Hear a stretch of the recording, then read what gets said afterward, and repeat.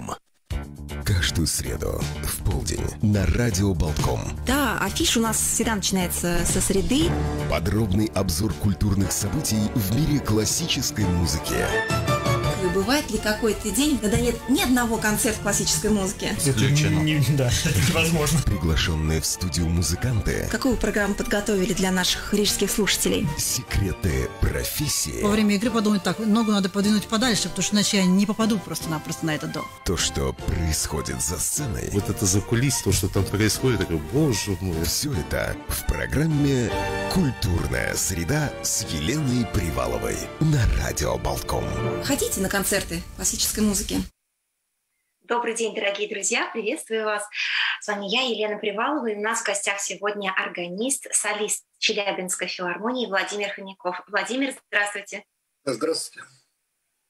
А, Владимир, а, расскажите, вот в Риге наконец-то вновь проводятся концерты. А, К сожалению, не для всех, требуются QR-коды. Как обстоят дела в Челябинске? Все могут ходить на концерты. Какая концертная жизнь в этом городе? На сегодняшний день это 70% наполняемости и QR-код. А, то есть тоже с QR-кодами можно. К Да. сожалению. Ну что ж делать, тем не менее, концертная жизнь продолжается. Э, В нашей заставке как раз э, друз- э, мои друзья Александр Кузовов и Игорь Прикян были прямом эфире радио, и как раз мы тогда смеялись, что это невозможно, чтобы не было ни одного концерта э, в день. А, И тем не менее у нас уже были такие периоды, когда можно было слушать классическую музыку только онлайн. Скажите, как вы провели вот эти два периода? Или э, в Челябинске был один период пандемии, когда практически все лишились работы, все музыканты? А, да, с марта, э, точнее, с 18 марта по конец августа, даже по началу сентября 2020 года, 20 да? Да, Когда 20 А, э, мы не работали. То есть совсем Мгм. ничего не было. Но с сентября э, решили начать работу. И, в принципе, вот до сегодняшнего дня пауз не было. Да, скажите, а как вы проводили время? Был ли у вас доступ к инструменту, который установлен в филармонии, или приходилось заниматься дома? Нет, с- к счастью, э, не- меня не ограничивали в доступе к инструменту, так что можно было заниматься сколько угодно. Прекрасно. Часто бывает такое, что один органист закреплен как бы за инструментом, и, э, как говорят, органная мафия, когда э, к другим очень сложно. Про Челябинск такое не скажешь. Ну, а как вы, в принципе, относитесь вот к такому понятию? Насколько это... э, Почему такое происходит? Почему такая ревность у органистов, когда они как бы вот держатся за свой инструмент и никого не подпускают близко? Я могу только предположить, э, я не, точно не могу сказать, э, но, скорее всего, чем ниже квалификация органиста, который работает на данном инструменте, тем у него меньше желания видеть там кого-то другого. Наверное, только этим можно объяснить. Ну, то Возможно. есть э, боязнь, конкуренция, боязнь, что кто-то скажет, а ой, смотри, как он классно играл, а ты как плохо играешь. Наверное, так. Расскажите рижской аудитории о вашем органе, который установлен в Челябинске. Сколько ему лет и сколько мануалов, насколько большой инструмент? Я только сначала скажу, что у нас э, в филармонии два солиста-органиста, еще есть Лариса Тимшина, ученица Галины Ивановны Козловой. А, И я еще исполняю обязанности. То есть Мгм. я, я ухаживаю за инструментом, и э, в этом смысле, может быть, доступ к, к нему еще менее ограничен для меня. Вот. А, так, вопрос о- о- Про об- челябинский об да. Да, хорошо. А, Фирма Герман Ойли а, из города Бауцен. Это 60 километров на восток от Дрездена. Старинный городок. Очень живописным историческим центром. Он так вот находится на холме. А вокруг равнина.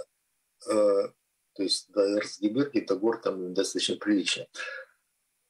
И когда подъезжаешь к городу, уже издалека его видно. потому что этот холм и вот эти вот э, башни э, с кафедрального собора, еще там центральных церквей, да, они так возвышаются над городом, и очень такой вид интересный. Фирма основана в 1872 году.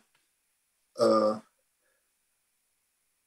а, кстати, про этот кафедральный собор, который возвышается, один из немногих, э, чем его особенность, это один из немногих кафедральных соборов, где соединены протестанты и католики в одном здании.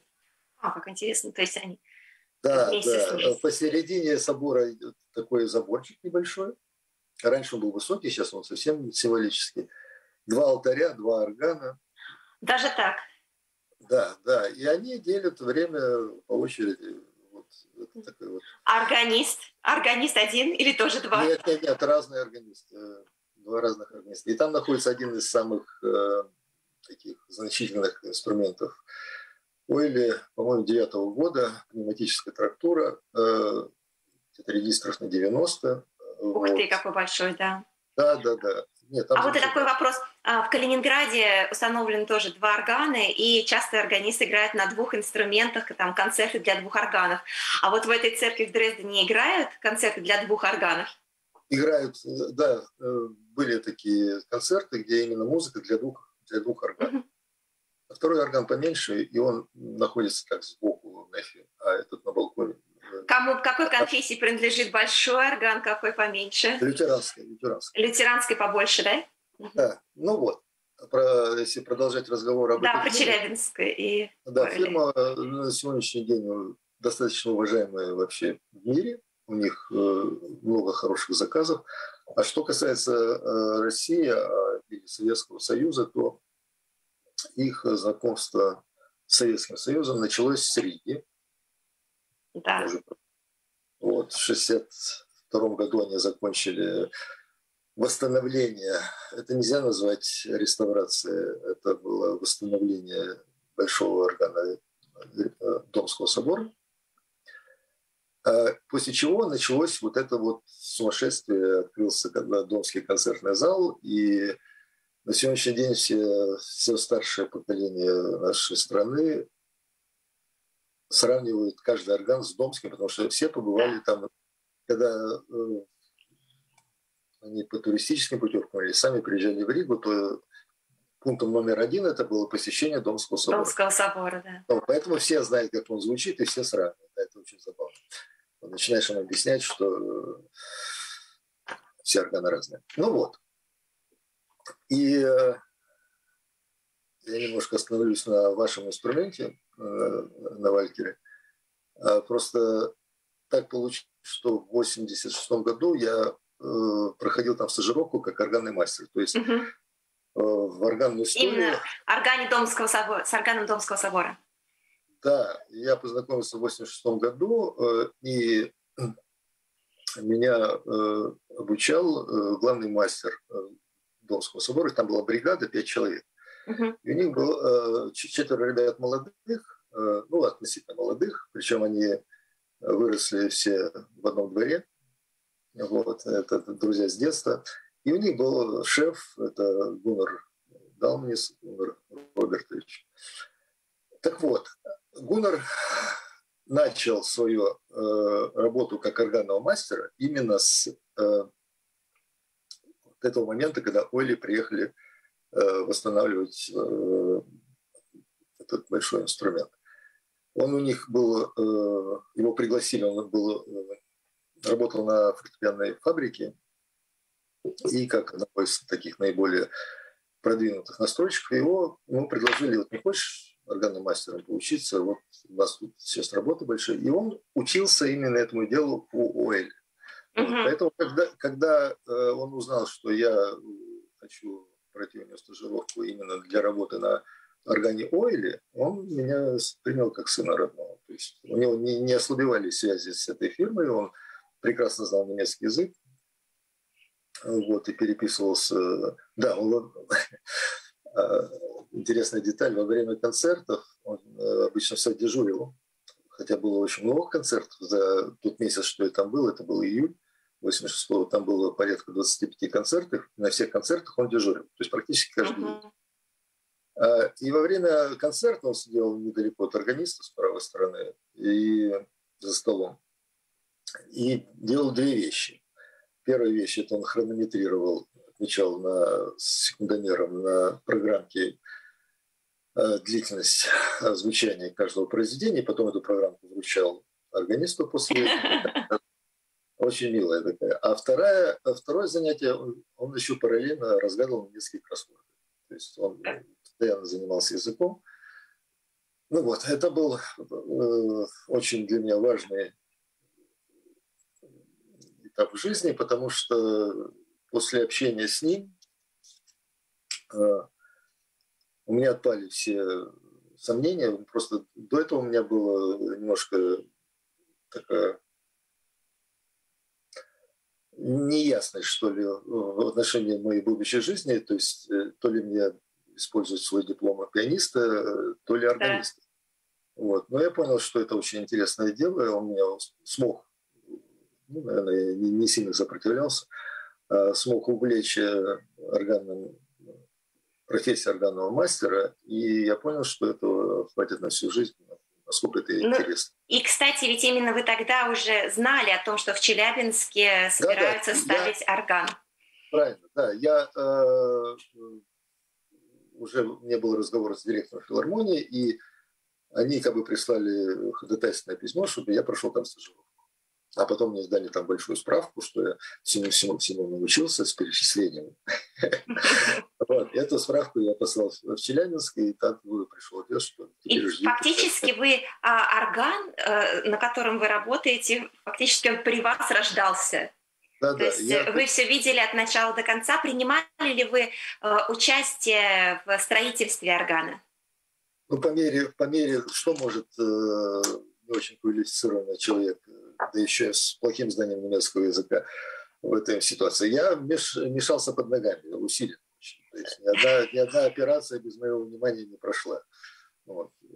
А приехал, да, я за, вызвали меня за две недели до приезда монтировщиков первой бригады, которые собирали корпус.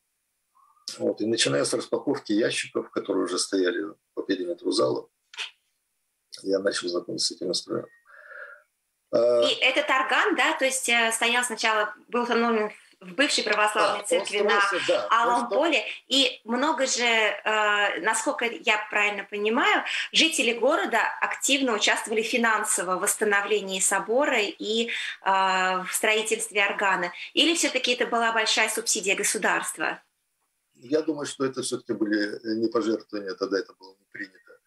Это были бюджетные деньги. Mm-hmm. Вот. Э, да, с этим, с, э, с этим залом, для которого строился этот эксперимент, там тоже такая интересная история. Это церковь, которую осветили э, прямо перед революцией, а вскоре после революции ее закрыли.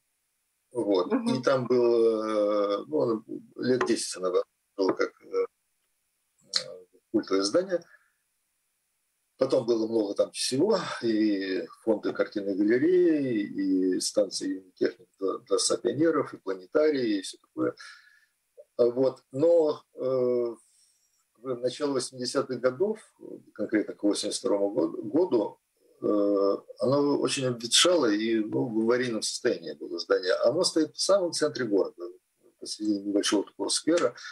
Э, очень симпатичное место – как бы и рушить ее было жалко. Вот. И когда приехал э, один из мастеров э, с Ойли, да, ему начали показывать здания разные, он все забраковал, ну, здание филармонии, здание музыкального училища, там еще какие-то, да, и проезжали мимо этой церкви, он говорит, а здесь что? Он говорит, здесь у нас планетарий. Вот, вот если бы говорит, вот здесь поставить орган, было бы здорово. То есть это был выбор немцев. Mm-hmm. И э, они сами выбрали это место, и потом дальнейшая достаточно серьезная э, работа по восстановлению этого здания. Снаружи его восстанавливали как оригинальное, а да. внутри, внутри э, алтарную часть переделали именно под, под орган. И все вот материалы, которые использовали для пола, для стен, для какие стулья, все это делалось с учетом пожеланий органостроителей. То есть редкий случай, когда идет, ну, в данном случае практически строительство органного зала, в тесной связке с органостроителями. Как и должно быть фактически. Как и должно да, быть. То есть орган редко, так и должен так, звучать. Тогда да. очень, так очень редко бывает к сожалению. Ну, кстати, вот. я хотела нашим слушателям рассказать э, немного из своей истории, что Челябинск это был городом, куда я поехала в 15-летнем возрасте на конкурс пианистов, который проводился я не помню, в училище или в институте. И первое мое знакомство с органом состоялось именно вот в этом храме на Алом поле. И тогда играл наш сегодняшний гость, солист Челябинской филармонии Владимир Хомяков. Тогда, я помню, была как раз а, то ли, кажется, Месса Баха, да. То есть я удивилась, как орган, а, я не помню, то ли Месса Баха, то ли что-то было, то ли это что-то был, или это был реквием Моцарта. Какой-то, вот, а какой-то год был? Да. Ой, это это было уже, получается, сколько? Почти 20 лет назад. Сло... А, ну, если это конец да. 90-х, то место могла быть, да. Вот. И это действительно было потрясающе, когда один инструмент кажется, что должен быть симфонический оркестр, и э, один орган полностью исполняет все, все эти функции, звучит. Э, неизгладимое было впечатление, но я тогда еще, конечно, не знала, что я буду органистом. И но, тем не менее, вот это впечатление от органа Челябинской филармонии было очень-очень сильным. И затем когда я работала в Министерстве культуры, тоже пришлось столкнуться э, с историей Челябинского зала, потому что как раз орган стали переносить э, в, в концертный зал Ойля. Вот расскажите, ой, не, ой, э, Родина, расскажите вот уже, какая жизнь началась, инструменты и полный, удалось ли сохранить инструмент, потому что часто говорят, вот эти вот переносы, они негативно сказываются на инструменте.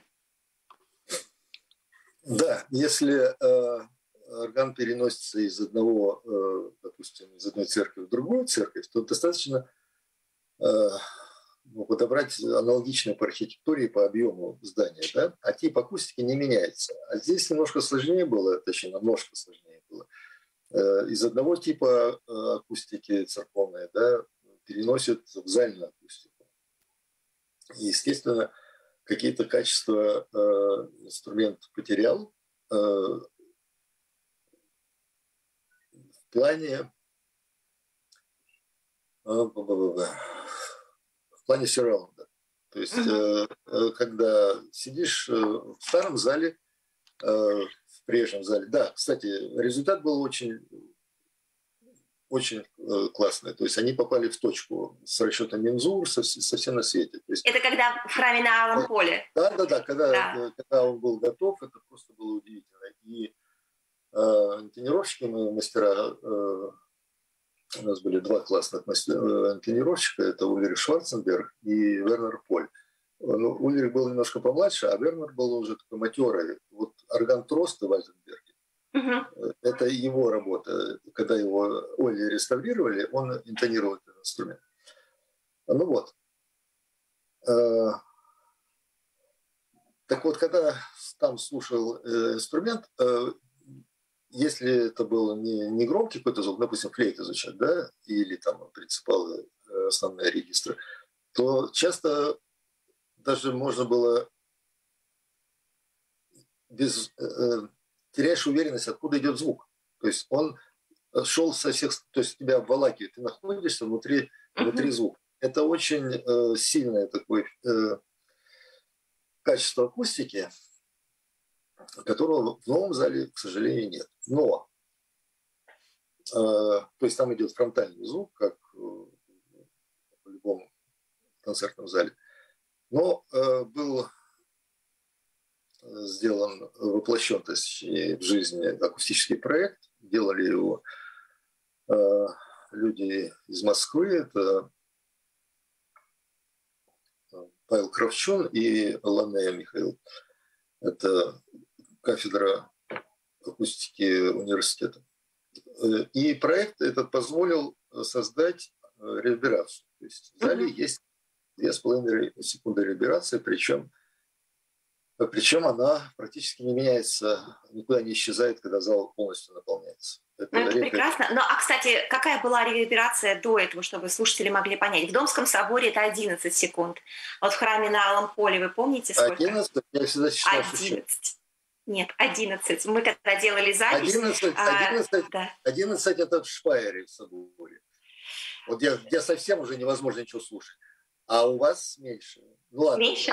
Но это вот как раз, э, когда полностью затихает звук, это э, звукорежиссер, который мы писали, Такаты Баха, он сказал, что вот э, когда полностью начинает тишина, это вот 11 секунд проходит.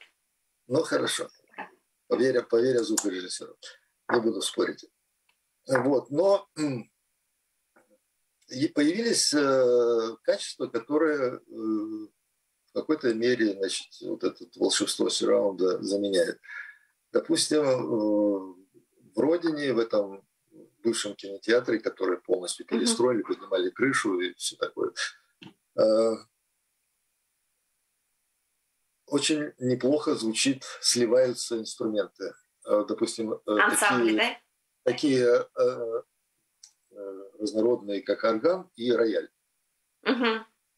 Есть же много хорошей музыки, да, там колокольный да. Ну и получается, что интонированный орган тоже вместе с роялем, то есть у них один, э, один тон. Нет, нет, просто акусти... мы сейчас в данном случае про акустику говорим. Э, в старом зале вот они никак не сливались. Угу. Вот они отдельно звучали. В этом зале это получается здорово. Ударные инструменты не так заводит зал. Угу. Да? Э, в большой акустике, если там использовать ударную установку, да, то часто там уже органы это не слышно, там просто идет. Угу. Здесь э, это, это возможно, если не злоупотреблять э, тарелками. Вот. И ну, плюс тому он стоит выше, он дальше от первого ряда и так далее. Появилась сцена, на которой можно посадить камерный оркестр и хор поставить в старом зале это было проблематично. То есть какие-то, э, безусловно, плюсы. Плюсы тоже появились, да. Да, появились плюсы. Вот. И было грамотно сделано э, э, этой же фирмой Ойли перенос. И Яханес Адлер своим помощником интонировал заново весь инструмент.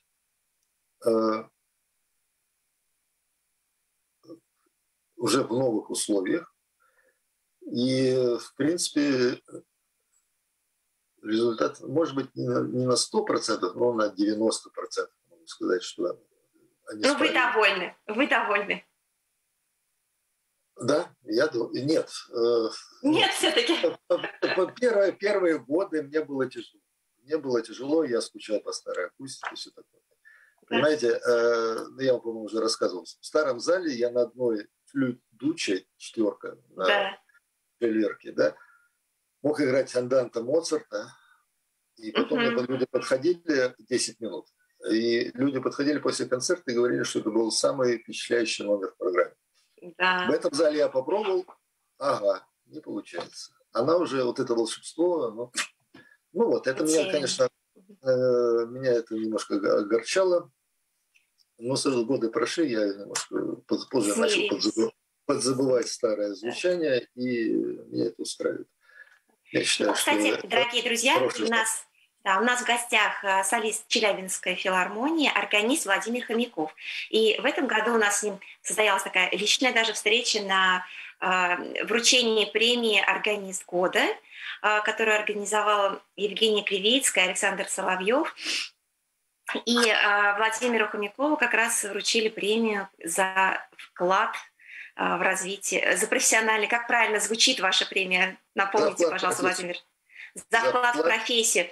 Да, и вот помимо того, что вот сейчас Владимир вам подробно рассказывает об органе в Челябинске, то, что он концертирующий органист, органный мастер, помимо этого он еще и блестящий импровизатор. И как раз на этом концерте я публикую ссылку, а, он исполняет свою импровизацию.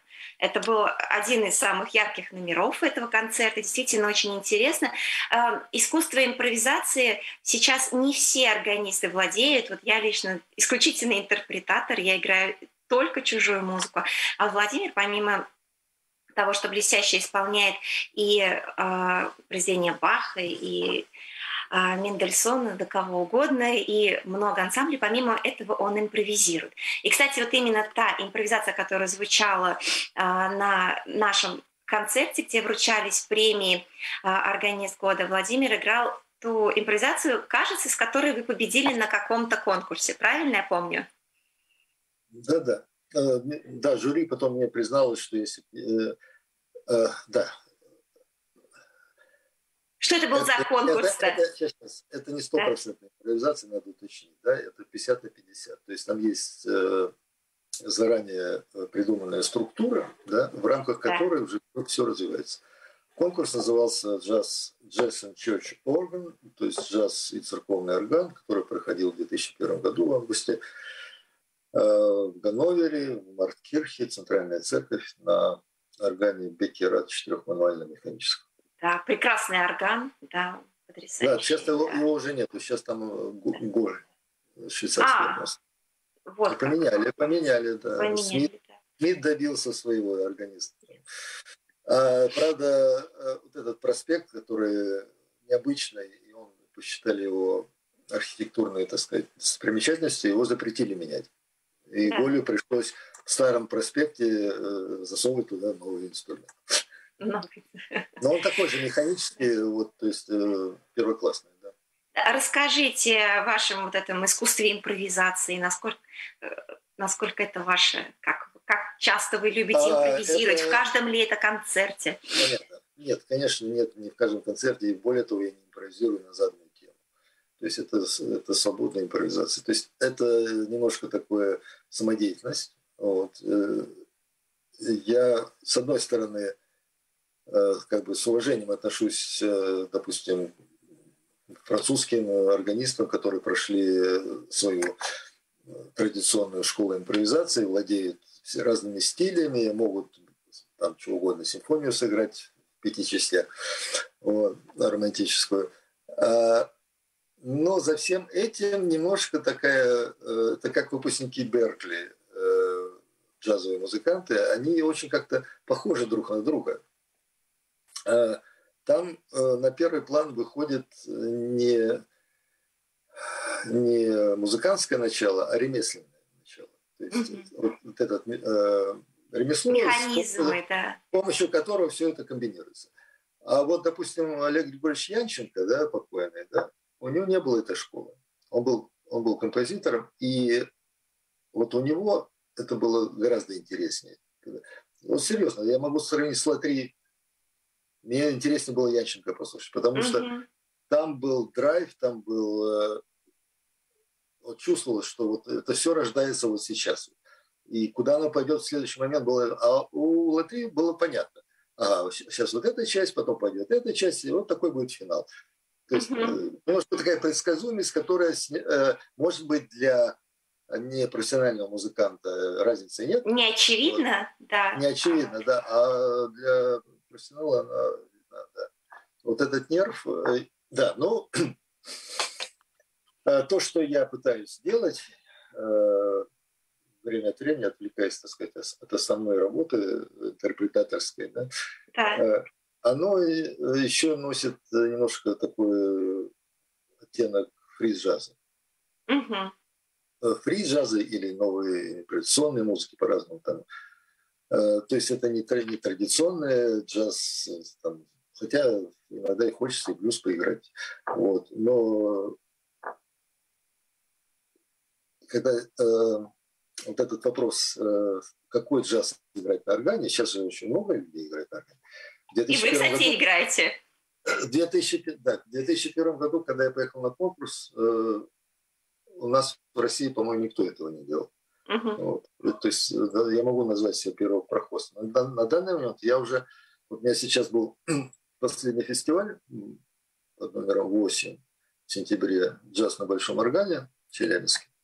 И случилась вот эта ситуация с пандемией не хотелось отказываться от фестиваля. И, вы знаете, удалось провести э, силами российских музыкантов, в смысле органистов. Там были... А кто еще играет у нас джаз России? Ну вот э, наиболее э, профессионально, что ли, я бы назвал Золотовского. Слово. Угу.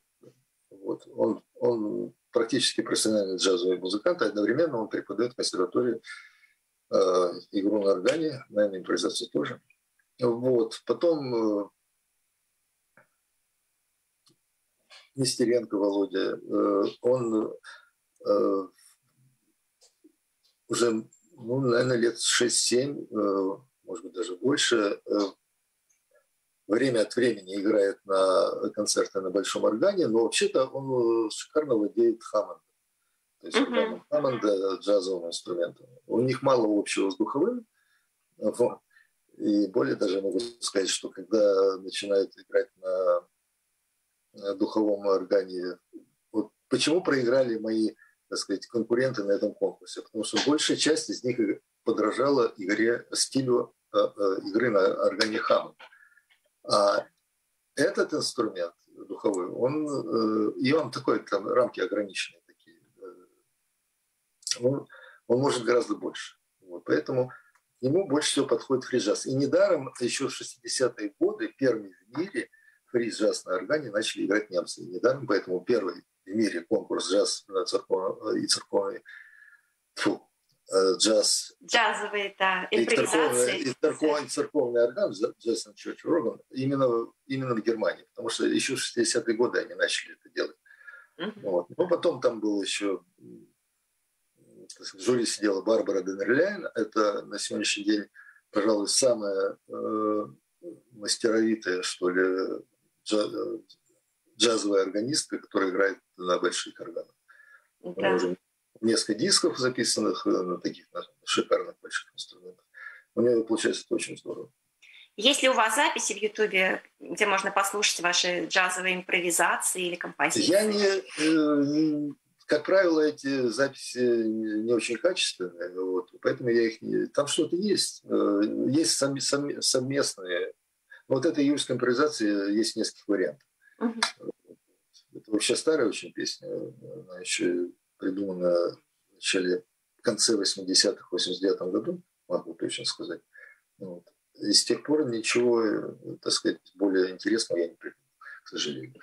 Так бывает. Но еще, еще не время. Владимир, э, фактически э, вы видите, как развивается органное искусство, да, то есть э, стояли у истоков создания инструмента. Как вы оцениваете, в каком направлении сейчас двигается органное искусство в России? Есть ли вот действительно этот органный бум, что появилось много инструментов, появляются различные премии? Вот как вы оцениваете? Я только могу это приветствовать. Вот даже то, что большая часть этих инструментов электронных, да, ничего страшного. Лучше электронный инструмент плохой акустике, чем хороший духовой инструмент плохой акустике, понимаете? То есть он, он произведет большее впечатление. Ну, даже, в принципе, хорошо наличие электронного инструмента, если, если, если, если нет вообще инструмента. Да, да. Если нету зала с настоящей органной акустикой, да, то в случае там пускай будет электронная стоять. Вот, потому что ставить большой инструмент в плохую акустику, в смысле не то, что плохую, не в органы, без реверберации, без какого-то объема, э, это все равно, что слушать баян большой, понимаете. Угу. Вот. А залов таких, куда можно было поставить инструмент, в провинции не так много. Вот. А насчет тенденции, э, есть там перекосы, но я надеюсь, что это со временем пройдет. А какие перекосы? перекосы? Что вы имеете в виду? Перекос, репертуарный перекос в сторону... Да. Упрощение. Да, я вообще не понимаю. Музыка кино и прочего. Музыка да. из кинофильмов, из э, саундтреков э, и тому подобное. Э, немножко как-то оно, оно обидно за инструмент. Он да, вообще-то, да. он вообще-то баховский инструмент. Еще лучше Баха никогда никто не создал. Надо обязательно приучать э, людей. И они хорошо... Почему-то почему э, музыка барокко, и в частности Баха, она как-то отвечает нам, нам сегодняшним. Что-то в них есть такое вот, что соответствует современному восприятию музыки и она кажется современной, это, она это, кажется это, именно да, актуальной это, сегодня. Это очень радует, да, здорово, у нас есть Бах, и, в принципе, по большому счету этого достаточно. Вот. Но, но всякие эти эксперименты, ради бога, но лишь бы это не, не, не не начинало бы быть основным. Полностью уводить нас от Баха, Букстехуда, Мендельсона. Да. Классика. Угу. Классика нужна, да. Да, а как вот ваши эксперименты, когда вы начинали джаз, ведь наверняка тоже воспринимали так же, как сейчас э, эксперименты с музыкой кинофильмов и нет, треками? Нет, нет? Э, вот, это, вот то, то, то, что я поним, э, то, что я пытаюсь сделать, и то, что я, так сказать, одобряю, да, оно ближе просто... Именно к Баху? Так, даже нет. До Баха, до Баха нам далеко. Нет, это что-то вне, вне жанра, да, но просто какой-то есть дух джаза. Да. Вот, это может быть подчеркнутая ритмичность. Вот. В принципе, в классической музыке тоже полно этого. Вот. И э, используя именно возможности инструмента, богатые возможности, а не ограничиваясь просто мелодией приятной и знакомой. Угу. Вот. А, дорогие друзья, у нас в гостях сегодня органист, солист Челябинской филармонии Владимир Хомяков, который стоял у истоков рождения инструментов в Челябинске, затем его перен а, в храме на Алом поле, затем очень много мы делали для того, чтобы пытаться сохранить этот инструмент э, именно в храме, но тем не менее был перенос э, в, киноте... в бывший кинотеатр Родины, сейчас у органа свой концертный зал, кинотеатр Родины, и где проводятся большие фестивали, большие концерты. Владимир много концертирует по всей России. И э, самое, конечно, вот в начале передачи особенно трепетно для рижан то, что его а, а, мастерство как органного мастера состоя... начиналось именно в Рижском соборе. Я бы, я, наших... бы назвал, я, я бы назвал это причастием. Причастие и школа, да, школа, да. что основа, это именно основа, основы, на потом можно да. строить остальное. Следующее, действительно, на нашем великолепном органе, который установлен в Домском соборе, это большая радость, такая ниточка, которая всегда связывает. Нет, это, это, да. это, это, это меня всегда... У меня в моей мастерской висит портрет Далманеса с его да. подписью. Так что, ребята, я с вами. мы будем ждать концертов Владимира здесь, потому что а, Владимир прекрасный исполнитель, и помимо того, что он как, также интерпретирует музыку, играет э, всех классиков, также и, хоть и очень скромно выражается, но тем не менее также есть и импровизации. Владимир, очень ждем вас в Риге. Будем надеяться, что концерт состоятся, когда ситуация с пандемией э, немного уляжется, когда можно будет опять путешествовать, можно будет спокойно играть. Я думаю, что это будет очень интересно, очень значимо и для вас, и для нас, для рижской, для рижской аудитории. У нас вот осталась буквально одна минутка. Посоветуйте, вот что бы вы вот э, что, что слушателям послушать после нашего эфира именно из органной музыки? Ой. Помимо вашей импровизации. Вы знаете же, что органный репертуар, он э, гораздо он больше огромен, да. он огромен. Немножко неожиданно. Что послушать? Слушайте Баха. Хорошо, да. будем слушать, будем слушать, слушать Баха. Слушайте Баха и хорошую современную музыку. А, ну что ж, дорогие друзья, наша передача подошла концу. А, я думаю, что Владимир мне пришлет в личном сообщении, может быть, пару ссылок, и я вам опубликую как раз э, послушать, чтобы он рекомендовал. Наша передача заканчивается. С вами была я, Елена Привалова, и у нас в гостях был Владимир Хомяков, э, органист, солист Челябинской филармонии. До встречи в следующую среду. До свидания. Спасибо, до свидания. Вы слушаете «Радио Болтко».